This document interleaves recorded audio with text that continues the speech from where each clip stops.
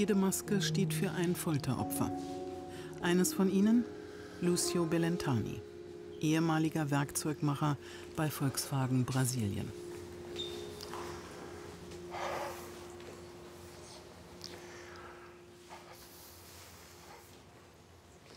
que, que eu fiquei?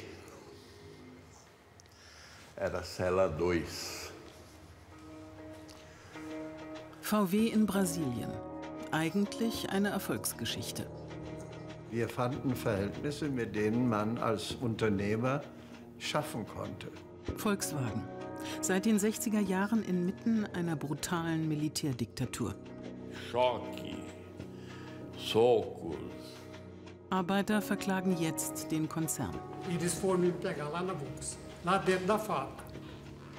Ermittler sitzen Volkswagen im Nacken. A Volks foi mais um braço da repressão política aqui no Brasil. Der Verdacht? Verstrickung in die Machenschaften der Militärdiktatur. Es sind tiefe Wunden, die nicht heilen. Die Spuren führen uns immer wieder in eine fast vergessene Vergangenheit. War VW Teil der Unterdrückungsmaschinerie?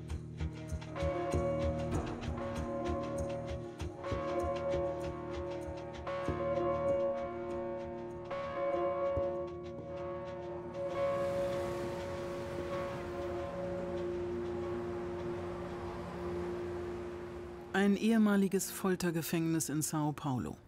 Lucius Häftlingsnummer 5171. Datum der Festnahme 29. Juli 1972. Der Vorwurf politische Opposition. Aqui tomava banho, era só um, só um cano que tem ali, não tem chuveiro, era só o cano e frio. Acht Monate Folterhaft, weil er für die kommunistische Partei Flugblätter verteilt hatte. Auf dem Werksgelände von VW. Eine der Foltermethoden? Die Papageienschaukel. Der Gefangene wird mit den Kniekehlen an einer Stange aufgehängt, die Hände an die Fußgelenke gebunden. Der wehrlose Körper hängt zu Boden. E ali pegaram fio elétrico, amarraram um aqui e o outro no canal do pênis. E aí eles começavam a dar choque. E nessa posição assim, formava aquela bacia aqui na, na barriga. Então, para aumentar a sensação do. Eles jogavam água. E ali, dando choque, soco na cabeça, na cara, no pontapé. Erst nach Wochen erfährt seine Familie, dass Lucio in Haft ist. Die Frau des damals 27-Jährigen kommt zu Besuch mit dem drei Jahre alten Sohn. Do filho, parado lá, pequeno, com uma blusinha marrom, olhando assim para mim. Sem, como, como, como perguntando o que está acontecendo, o que, que é que.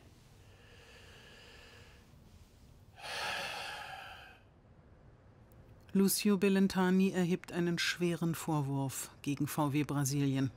De forma indireta, ela foi responsável por, por várias torturas, por essas perseguições. Não adianta ficar jogando embaixo do tapete.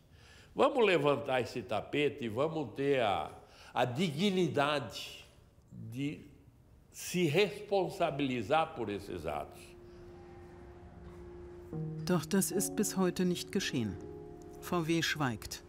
Vier Jahrzehnte schon bleibt das Geschehene folgenlos.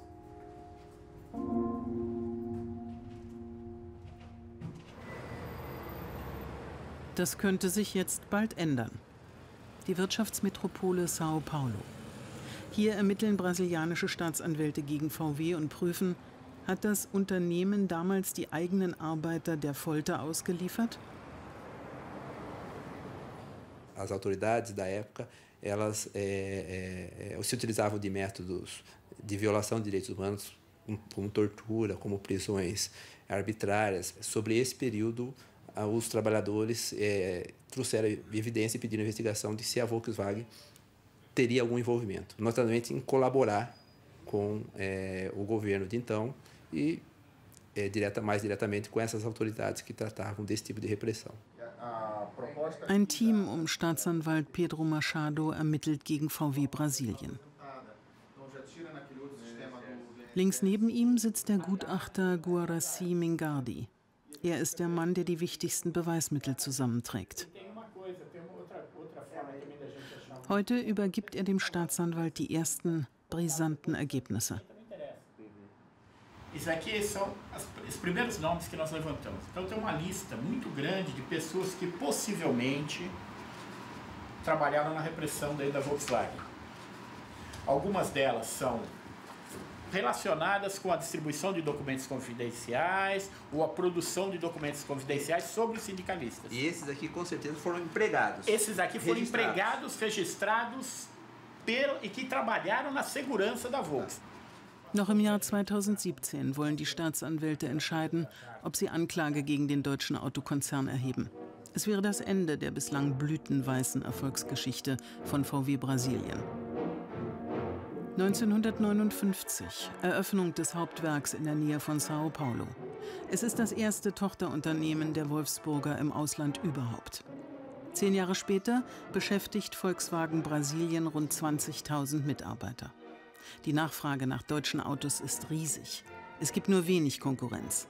Im Rekordtempo wächst VW zum größten Privatunternehmen Lateinamerikas.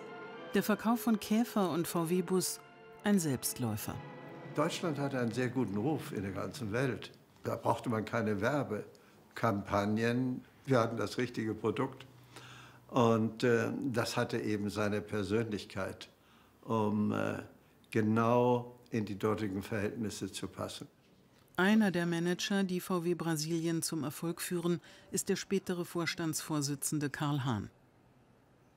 In den ersten acht Jahren der Militärdiktatur reist er regelmäßig nach Sao Paulo. Damals war er Vertriebschef in Wolfsburg und saß im Aufsichtsrat von VW Brasilien. Verfolgen Sie denn aktuell die Ermittlungen, die in Brasilien gegen Volkswagen do Brasil laufen? Noch nie davon gehört. Wer, wer verfolgt die denn? Die Staatsanwaltschaft, die Bundesstaatsanwaltschaft. Wo? In Sao Paulo. Das ist sehr verdienstvoll, dass Sie sich da so aktiv einsetzen. Wunderbar. Sie finden das nicht nachvollziehbar, dass man das macht? Ich, ich halte das für die Überschrift hieß für mich, gibt es Wichtigeres für uns, als mit der Vergangenheit in Brasilien zu beschäftigen. Solche Sätze können sich die Konzernsprecher in Wolfsburg nicht erlauben. Hier fährt man eine andere Strategie. Die Botschaft lautet, wir klären auf. Denn noch ein Skandal wäre das Letzte, was VW gerade gebrauchen kann. Das Thema ist insofern für uns natürlich wichtig, äh, weil es unsere Historie betrifft. Und alle Dinge, die mit der Historie zu tun haben, müssen wir natürlich auch lückenlos wissen, äh, was, was wo passiert ist.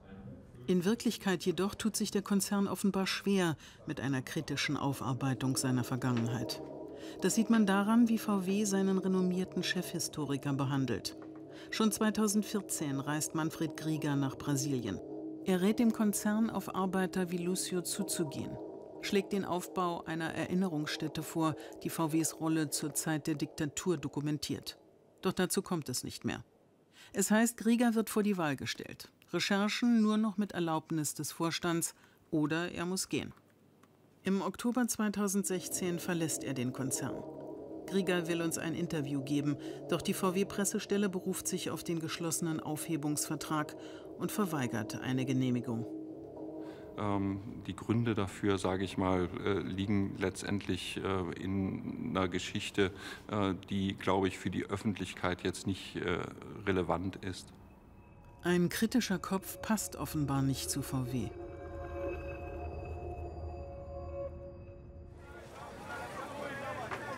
Jacaré, 200.000 Einwohner, eine Autostunde von Sao Paulo. Hier lebt Lucio Bellentani. Obwohl der 72-Jährige schon lange in Rente ist, fährt er fast täglich nach Sao Paulo, wo er eine Gewerkschaft für pensionierte Arbeiter gegründet hat. Es ist dieser Kämpfergeist, mit dem er seine dunkelsten Erinnerungen überwindet. Erinnerungen wie an das völlige Ausgeliefertsein in Folterhaft.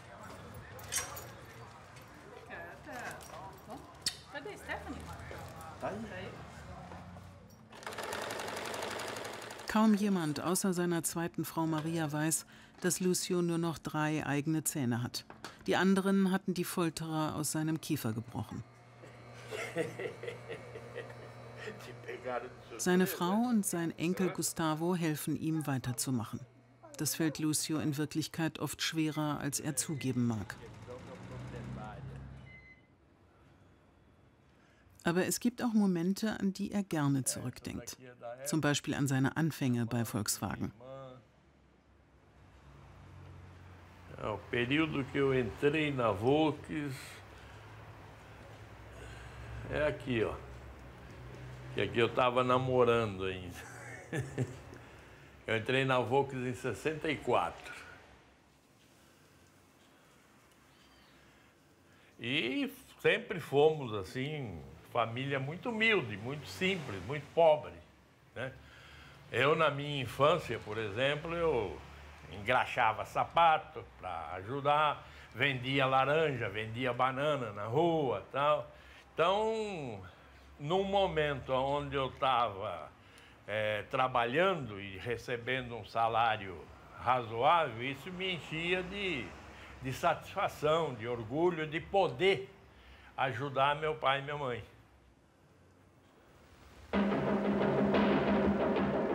Aqui estão eles. Aqui está a nova linha Volkswagen 71. Fuscão 1500, motor de 52 HP. Novo estofamento, duas cores totalmente novas. Carmanguia TC, quatro lugares, motor deitado, dois carburadores, 65 HP. 1959 besucht ein ARD-Team den Mann, der VW nach Brasilien brachte. Wir haben in den äh, fünf Jahren, in denen unser Werk hier besteht, noch nicht eine einzige ernsthafte Auseinandersetzung zwischen einem deutschen Meister, Ingenieur oder einem brasilianischen Arbeiter gehabt. Äh, es ist erstaunlich, dass gerade der brasilianische Arbeiter mit seinem Temperament sich so hervorragend unterordnet. Vertrauen ist gut, doch die Kontrolle des brasilianischen Arbeiters ist offenbar besser. Unsere Recherchen zeigen, noch im selben Jahr Fünf Jahre vor Beginn der Diktatur gründet Volkswagen Brasilien den Werkschutz als Teil der Personalabteilung. Chef ist ein frisch pensionierter General. Es ist dieselbe Abteilung, die jetzt im Fokus der Ermittlungen steht, weil sie gemeinsame Sache mit den Militärs gemacht haben soll. Und die putschen sich 1964 an die Macht. 21 Jahre lang wird sich das Regime halten können. Die Militärs setzen auf Wirtschaft, Wachstum und innere Ordnung. Genau wie VW. Volkswagen expandiert und eröffnet bald die zweite Fabrik im Land. Die Militärs erklären Oppositionelle zu Staatsfeinden. Wer der Kommunistischen Partei Brasiliens nahesteht, dem drohen Folter und Tod. Mich hat das nicht beunruhigt damals. Ich erinnere nicht, dass wir nun mit Tränen äh, den Weggang und die Wegspülung der Demokratie etwa beweint hätten. Was hätten wir denn tun sollen? Hätten wir die, Revolu die Militärregierung absetzen sollen? Glauben Sie, wir hätten etwas geändert? Unmittelbar nach dem Putsch investiert VW Millionen in Brasilien. Die deutschen Autobauer und die südamerikanischen Militärs. Das hat von Anfang an gepasst. Kritische Nachfragen treffen bis heute auf wenig Verständnis. Hatte Volkswagen gemeinsame Interessen mit der Militärdiktatur? Natürlich. Alle hatten dieses Interesse, dass das Land vorankommt. Also diese Art der äh, Beurteilung der Dinge, wie Sie sie hier versuchen, der Öffentlichkeit beizubringen, ist sicher typisch deutsch, aber ziemlich einmalig. Aber wir sind, wir, wir sind ja immer Überdemokraten geworden.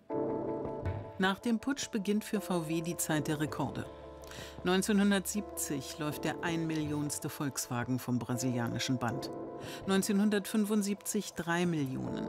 1979 5 Millionen. VW do Brasil, zurzeit das gewinnbringendste Werk des Wolfsburger Konzerns, ist der größte Autohersteller des Landes. Täglich laufen 1750 Fahrzeuge vom Band. Von Absatzkrise keine Spur.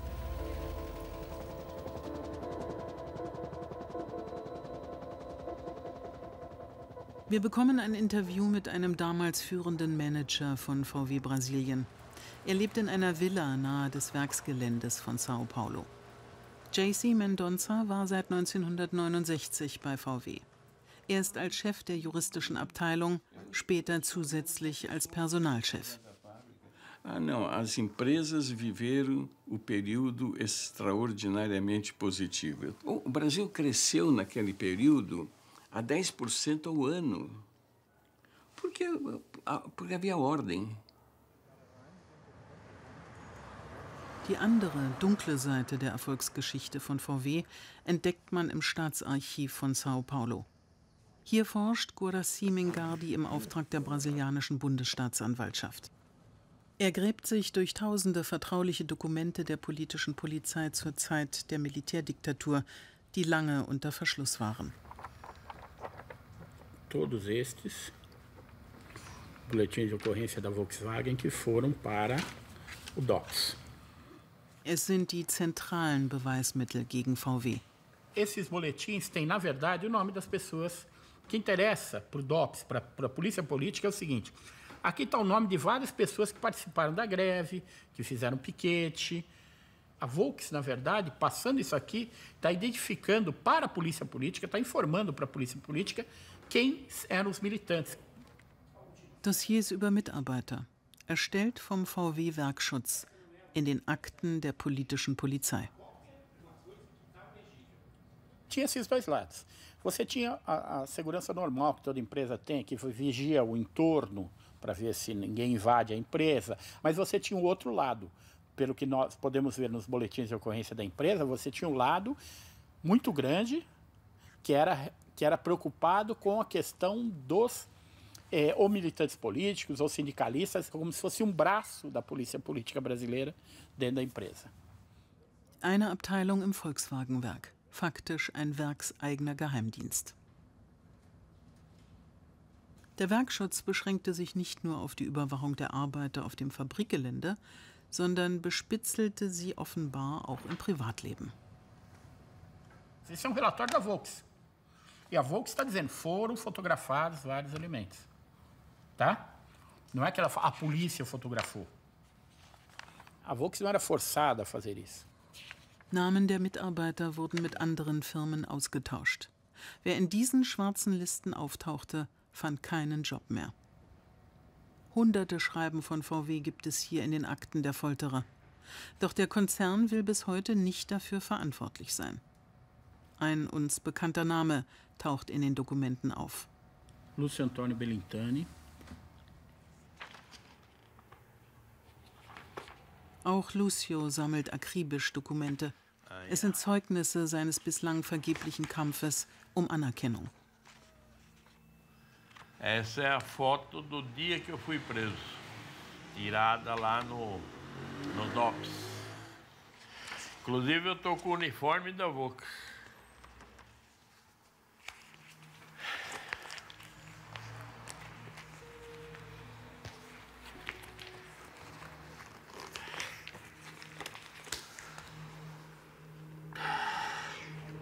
Nós vamos chegar lá.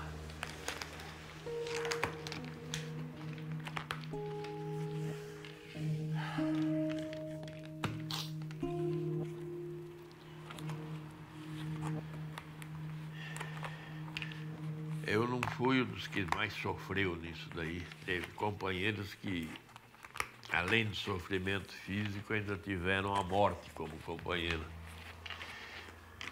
Eu, felizmente, eu estou aqui, mas por isso eu continuo brigando por eles, pelo, pelo restabelecimento dessa verdade. Então, é isso. É simples a coisa. É a verdade, só a verdade. Eu, eu não gosto da, da rotulagem de ditadura militar. Nós nunca tivemos ditadura no Brasil. Quem se queixa de ditadura é quem sofreu as consequências. Por quê? porque eram os esquerdistas que, que queriam bagunçar o país. Tudo aquilo que estava relacionado com os esquerdistas sofreu a pressão do, do governo militar. Fora disso, foi só positivo. Der ehemalige Topmanager von VW hat seine eigene Geschichtsschreibung. Wir bringen ihm belastende Dokumente aus dem Staatsarchiv. Als Personalchef war ihm auch der Werkschutz zugeordnet. Eu recebia a informação, mas absolutamente informações normais do que está se passando dentro da empresa. Sein Name taucht in den Unterlagen immer wieder auf. Dr. Mendonça. E o senhor explica como que esses documentos estavam dentro do DOPS? Ah, eu que vou saber.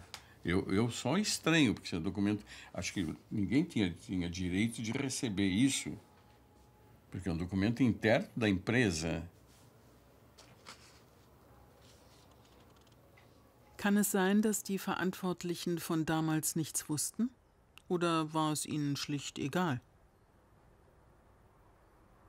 Wir, wir haben versucht, Automobile zu bauen. Und unabhängig von der Regierung, die in einem Lande herrscht, das überlassen wir den Eingeborenen, den Menschen dieser Länder. Wir sind keine Kommunisten gewesen, muss ich Ihnen allerdings bekennen. Auf dem linken Auge überempfindlich, auf dem rechten Auge blind? Dieser Mann bekam bei VW umstandslos einen Arbeitsvertrag. Franz Stangl, Lagerkommandant der NS-Vernichtungslager Sobibor und Treblinka. Er machte das Töten effizient. Ein international gesuchter Massenmörder, der bei VW ganz offen unter Klarnamen anheuerte. Wir kannten sicher nicht auswendig die Namen von KZ-Kommandanten und dass äh, die dort angestellt werden, ja, wenn sie aus Deutschland kommen. Das waren ja sehr viele, die aus Europa kamen. Das war, glaube ich, eine ganz normale Geschichte. So normal, dass VW Brasilien dem später wegen 400.000-fachen Mordes verurteilten Stangl sogar nach dessen Verhaftung noch einen Anwalt empfahl.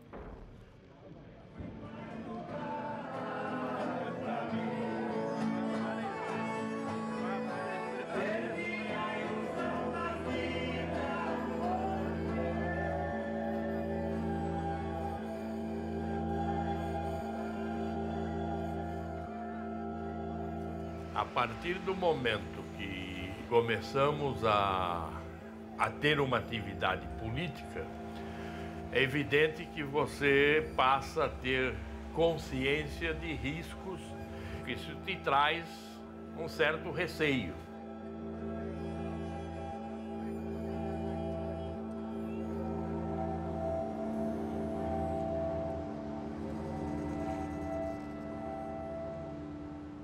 Monatelang hatten wir mit VW verhandelt. Schließlich sagt das Unternehmen zu. Nach 45 Jahren, Lucio betritt das Werksgelände von Volkswagen Brasilien. Auch wenn er sich nur im Eingangsbereich bewegen darf, er sieht es erstmal als positives Zeichen. Retornar aqui é uma vitória. É, um... é uma satisfação. Ein Sieg ist es für ihn, am Ort des Geschehens seine Geschichte erzählen zu können. Das macht ihn erstaunlich gelassen. Keine Wut, kein Hass. Doch Lucio fühlt sich fremd. Não conheço mais nada. A Laquata fica por aí, assim, por fundo. Onze e meia da noite, vieram os policiais do DOPS. Estava trabalhando, estava de costa quando me encostaram a metralhadora nas costas e me algemaram. Aí eu olhei tinha dois guardas da, da Vox, dois policiais com metralhadora e na parede aqui estava o coronel Rude também armado. Prisão na fábrica? De jeito nenhum. Nós sempre tratamos o nosso pessoal com um carinho muito grande. Muito, mas muito grande. É, lá em cima era o departamento pessoal para onde eu me trouxeram, depois da, de me tirarem lá da ala 4. Quando começaram a me querer perguntar quais outras pessoas que eu conhecia, que também eram ativistas sindicais, eram ativistas políticos e tal, e começaram a me espancar, me dar tapa, pontapé, soco, dentro do departamento pessoal. E a segurança da, da empresa observando. Ficaram observando, simplesmente. Nunca, nunca entrou um militar dentro da fábrica. Nunca entrou. Nem eles nunca, jamais pediram sequer para fazer isso. Jamais. Se alguém lhe disse isso, mentiu. Es ist ein Phänomen. Noch immer wollen die Verantwortlichen von damals nichts wissen. Von dem Leid, für das VW offenbar eine Mitverantwortung trägt. Hier an diesem Ort wurde Lucio Bellentani mit Hilfe des VW-Werkschutzes von den Militärs verhaftet. Hier begann sein Leidensweg. Aí a viatura deles, que era uma veraneio azul, estava aqui embaixo. Me puseram dentro da viatura, saímos lá por aquela portaria e fomos embora para o DOPS. Trotz der Hitze, das Klima ist eisig. Die Fabrikhallen darf der ehemalige Arbeiter nicht betreten. Außerdem überwacht ein VW-Team die Dreharbeiten. Insgesamt neun Pressesprecher und Werkschützer. Sowohl aus dem hiesigen Werk als auch aus Wolfsburg. Sie bleiben immer dicht hinter Lucio und der Kamera. Niemand redet auch nur ein Wort mit ihm. Niemand gibt ihm die Hand. Er ist umstellt vom Werkschutz, als wäre er ein Feind. Genau wie damals. Quando vocês me chamaram para fazer essa gravação, eu fiquei até assim otimista. Falei, poxa, será que está mudando o comportamento da Vox? Agora chega aqui, você tem que ficar feito um alguém indesejável aqui dentro da empresa, rodando por fora e ter, você não podendo entrar dentro da empresa. O que, que é isso? Qual é o medo? Qual é o receio? Não estou atrás de, de indenização financeira. Que eu quero é um posicionamento de reconhecimento da verdade. Befürchtet VW, dass schon eine Begrüßung als ein Schuldeingeständnis gedeutet werden und den Konzern Millionen kosten könnte? Die Staatsanwälte in Sao Paulo ermitteln nicht nur mit Hochdruck, sondern auch unter Zeitdruck. Vielen Opfern bleiben nicht mehr viele Jahre. Der VW-Konzern hatte seine aktive Mithilfe bei dem Prozess der Wahrheitsfindung versprochen. Schonungslos, lückenlos, allumfassend. Wir wollen wissen, ob VW es ernst meint. Ermittler sind Journalisten gegenüber normalerweise sehr vorsichtig, zumal bei laufenden Verfahren. Umso überraschter sind wir, als der Staatsanwalt sofort Klartext redet. E, e o nosso trabalho está dificultado também, porque nós tivemos uma conversa logo no início com a Volkswagen e eu, eu, os diretores jurídicos da Volkswagen foram enfáticos. Nós não fizemos nada de errado e nós queremos que isso encerre o quanto antes. É, eu falei para eles que eu não tinha uma boa notícia para dar para eles, porque não ia encerrar tão logo, porque nós íamos precisar investigar. Wir sprechen mit einem der zahlreichen Anwälte, die VW Brasilien in dem Verfahren vertreten. A Volkswagen eh, já compareceu ao Ministério Público e, de forma proativa também, uh, ofertou uma quantidade enorme de documentos para que os promotores uh, possam avaliar. Mas as informações que têm vindo são muito insubsistentes. É, nós pedimos boletins de ocorrência, por exemplo, que eram lavrados por esse Departamento de Segurança. É, 90% dos boletins que foram encaminhados são de uma planta numa, na cidade de Taubaté. É, então eu não sei o que está acontecendo. Volkswagen 1600 TR. Dois amplos porta-malas. Motor deitado de 65 HP. Grande espaço interno. Beleza que não acaba mais. Venham, venham a eles todos os desiludidos, todos os insatisfeitos, todos que amam a beleza. Der Druck auf VW steigt auch durch die Trennung von seinem Chefhistoriker. Die Botschaft an die Öffentlichkeit soll ja eigentlich lauten, wir klären auf. Also wird in Windeseile Christopher Kopper von der Universität Bielefeld verpflichtet. Hier recherchiert er bei VW in Brasilien. Bis Ende 2017 soll er seine Ergebnisse vorlegen. Ich bin kein Lateinamerika-Experte. Ich kannte auch zu Beginn des Projekts auch kein Wort Portugiesisch, habe mich dann erst nach und nach eingearbeitet, aber ich muss sagen, es war hochspannend. Ein Doppelschlag.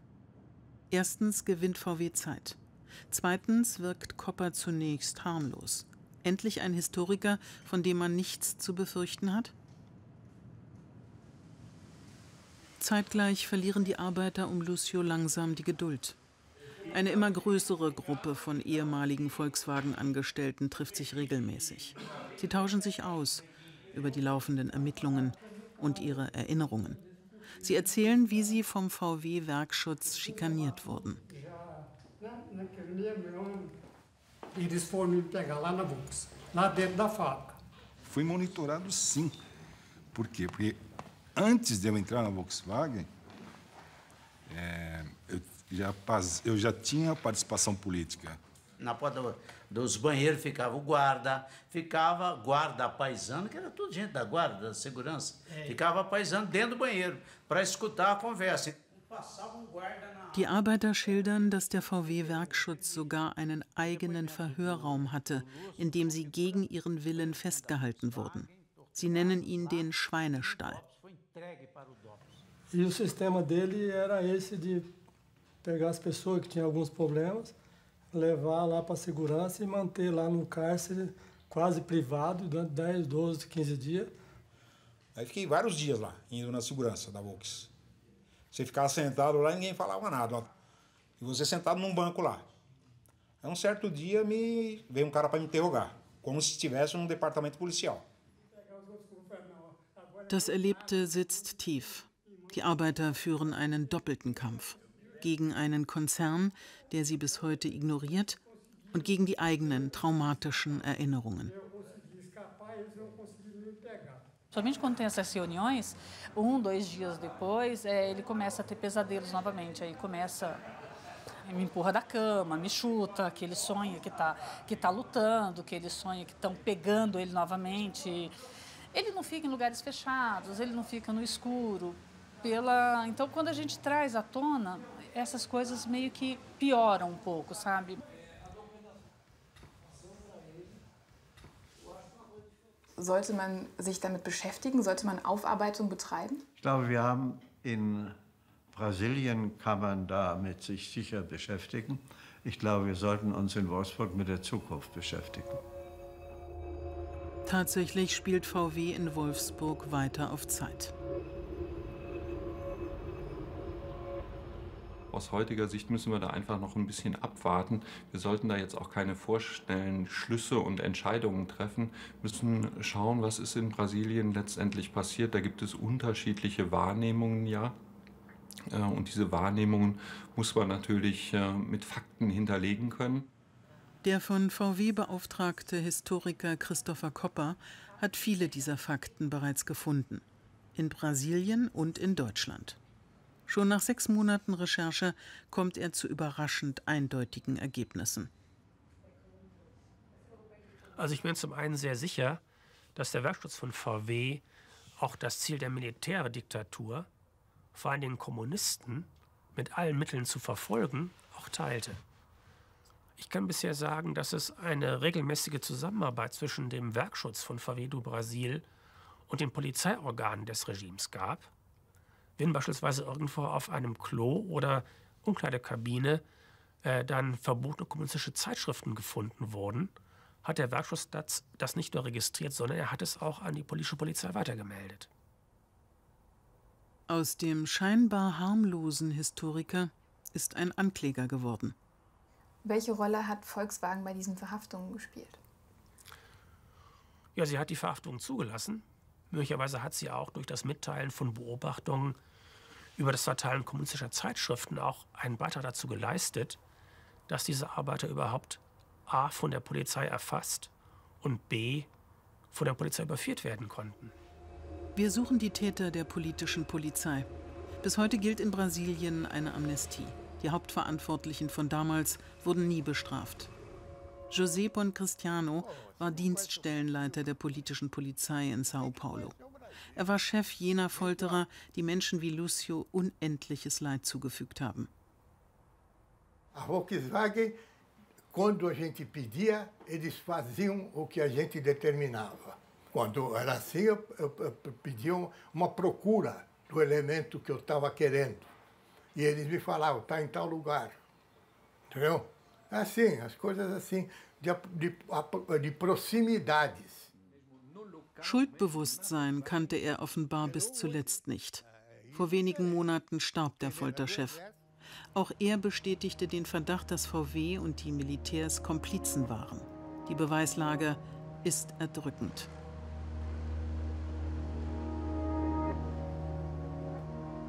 Die Frage ist, was wusste eigentlich der Vorstand von VW do Brasil? Das ist eine offene Frage.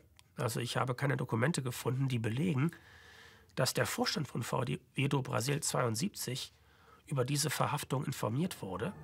Wir finden einen Brief, in dem der Direktor von Volkswagen Brasilien den Vorstandschef in Wolfsburg über Festnahmen von Mitarbeitern informiert. 1972, kurz nach Lucius Verhaftung, schreibt der VW Brasilien-Chef über die Verhaftung von mindestens fünf Angestellten der VW do Brasil, denen eine Teilnahme an subversiven kommunistischen Aktionen einwandfrei nachgewiesen wurde. Karl Hahn saß damals im Aufsichtsrat. Keine Ahnung. Nie gehört. Nie, nie gesehen auch. Sie haben von Verhaftungen bei Volkswagen insgesamt nichts gewusst? Nie. Was wusste Wolfsburg wirklich? In internen VW-Unterlagen finden wir Hinweise auf ein besonders entlarvendes Ereignis.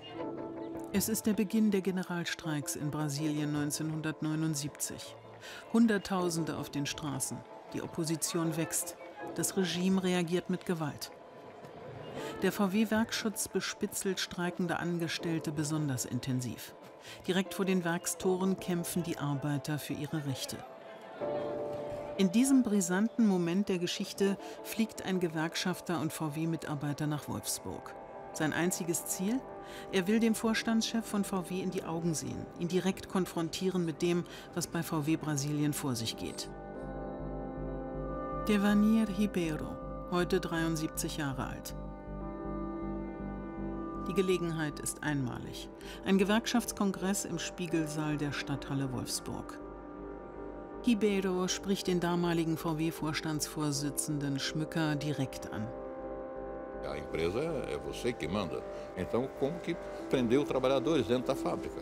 Com qual motivo? Qual a razão? Quem é que autorizou? Porque a fábrica é sua. O governo não poderia ter o acesso a, assim, automaticamente, né? Aí ele, não, porque o regime é forte, o regime militar é quem manda. Ele não respondeu, disse que ia tentar falar, tentar falar não, ia falar com o presidente da Volkswagen aqui no Brasil para saber qual a informação que ele tinha, que ele poderia dar para nós aqui. Mas nunca deu essa informação. Drei Jahre nach dem Kongress, auf dem der Vorstand klipp und klar auf Menschenrechtsverletzungen bei VW in Brasilien angesprochen wird, übernimmt Karl Hahn den Vorstandsposten. Was soll ich da sagen? Herr Schmöcker, ich kann ihn nicht konsultieren. Wir haben auch keine lange Übergabe gemacht. Wir sind nie auf die Idee gekommen, dass in unseren Betrieben in irgendeiner direkten oder indirekten Art und Weise Menschenrechte zu kurz gekommen werden oder nicht respektiert worden wären. Das war jenseits unserer Vorstellungskraft. Wer erst gar nicht fragt, der bekommt auch keine Antworten. Zurück in Brasilien. Historiker Kopper hat sich mit einigen ehemaligen Arbeitern verabredet, um ihre Sicht der Dinge zu hören. Darauf haben die Männer jahrzehntelang gewartet. Endlich tritt ihnen jemand von Volkswagen gegenüber.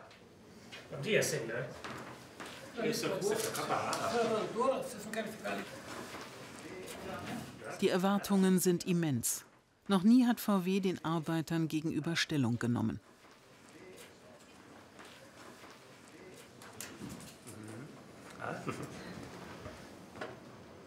Ich freue mich sehr, dass Sie mich heute eingeladen haben, um über das Projekt als Historiker zu berichten, dem ich jetzt seit fünf Monaten arbeite, eine Geschichte von VW do Brasil während der brasilianischen Militärdiktatur.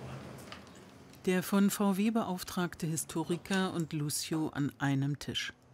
Wir sollen den Raum verlassen. Das Gespräch beginnt. Doch bereits nach wenigen Minuten knallen die Türen. Então eu perguntei ele: você está aqui em nome da empresa? Não estou em nome da empresa. Não falo pela empresa. Falei: então, não temos conversa. Eu não vou ficar aqui servindo de cobaia. Ein Missverständnis führt zum Eklat. Während Historiker Kopper seine Unabhängigkeit betonen will, fühlen sich die Arbeiter zum Narren gehalten. Ein Entsandter von VW, der keiner sein will? Natürlich habe ich auch gemerkt, die sind frustriert, weil sie schon lange auf Entschädigungen warten und bisher von VW noch kein Zeichen kam. Und die haben sich natürlich zu Recht gewundert. Da kommt innerhalb von zwei Jahren zum zweiten Mal ein deutscher Historiker und stellt ihnen Fragen zur Geschichte. Seja honesto. Seja honesto, pelo menos uma vez na vida. Nova linha Volkswagen 71. Tudo o que você esperava.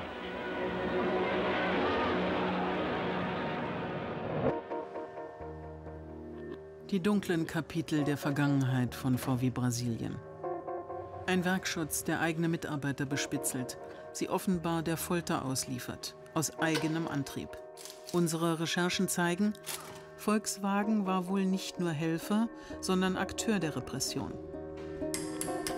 VW, der schweigende Konzern. Doch Arbeiter wie Lucio zwingen ihn, sich der Vergangenheit zu stellen. Die Ermittlungen in Brasilien stehen kurz vor ihrem vorläufigen Abschluss. Werden Sie Volkswagen dazu raten, sich zu entschuldigen für alles das, was in den 60er, 70er und 80ern in Brasilien passiert ist? Ja, auf jeden Fall.